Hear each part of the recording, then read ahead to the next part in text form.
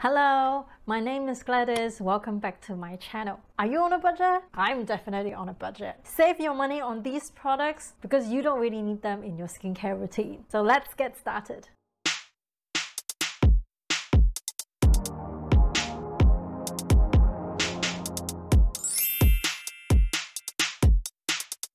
With the increasing popularity of Korean skincare brands, there is just so much products nowadays available in the skincare market. Well, I don't have all the money to spend on my skincare routine. I wish I have all the money to spend, but I don't. I'm going to share with you what are the products that you can save money on so you can splurge on those essential items on your skincare routine. So number one is toner. The traditional idea of toner comes from the toner will help to balance your pH after you cleanse your face and also remove all the residual from the cleanser itself. However, nowadays most of the cleansers are slightly acidic that could help to thoroughly cleanse your face and so the balancing of the pH is not necessary anymore. And the second thing is if you double cleanse your face, which I have a video talking about my two minute oil cleansing, if you follow that steps, it will thoroughly cleanse your face. And so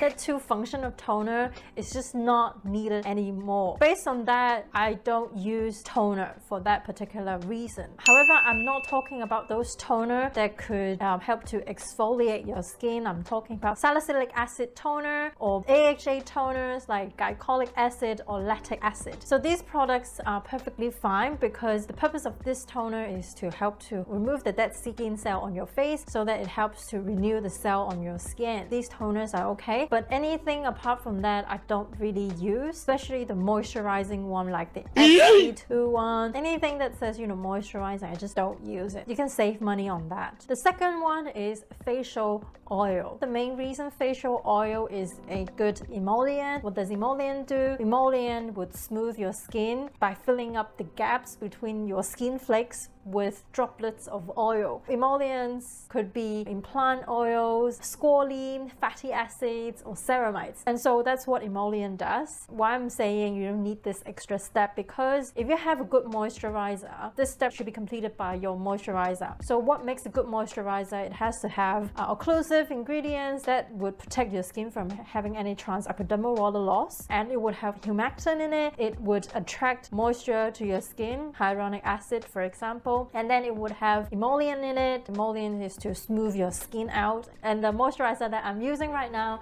is able to do this three function and so I don't need to have an extra step and the moisturizer that I'm currently using is from CeraVe Moisturizing Cream. This uh, moisturizer is a lot cheaper than the facial oil that we can buy in the market whether it's an olive derived squalene or a, a rose hip oil so all this is a type of emollient. My moisturizer has ceramide. Ceramide is also emollient, so my moisturizer does that, and so I don't need an extra product. Except you want it to smell good, which I don't really encourage because I've said this in a lot of my video, fragrance has nothing to do with your skin. It would only trigger any kind of contact dermatitis down the road. So stay away from fragrance. And that fragrance is my point number three. I don't buy any skincare that has fragrance in it, which covers pretty much the majority of the skincare products products you can find in the market. Stay away from fragrance because, as I said, fragrance has nothing to do with your skincare,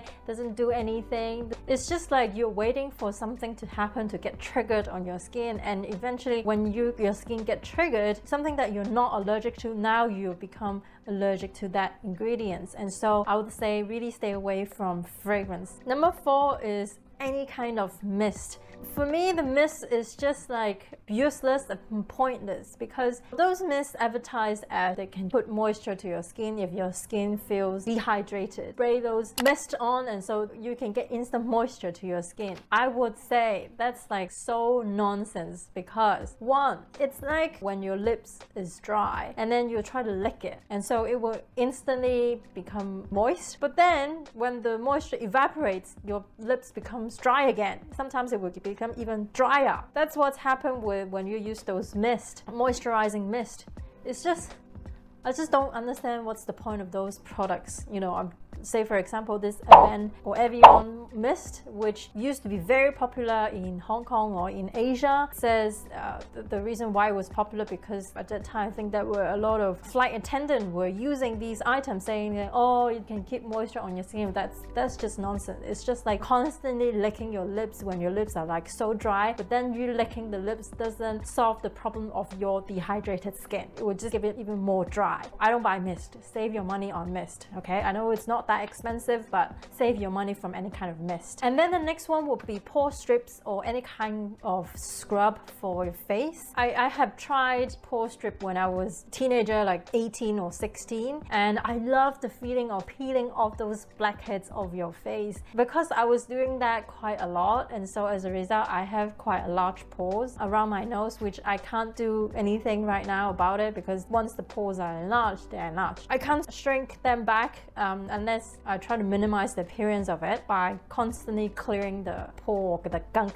got stuck in my pores. Save your money from pore strip because it would just enlarge your pores and there are a lot of other ways chemically to remove those blackheads. I know it's not as satisfying as watching those YouTube video of peeling those gunk off your pores or off your nose, but then you don't want to damage your pores. You don't want to enlarge it because once your pores are enlarged, you can't go back. Stay away from those. No matter what they do, the physical peeling of itself is just too irritating for your skin. If you want enlarged pores, be my friends, go and purchase them. But if you don't want enlarged pores, you have other ways to get rid of your blackheads. For example, by using salicylic acid. Stay away from pore strips, save your money from that. And then the next one would be scrub for face again.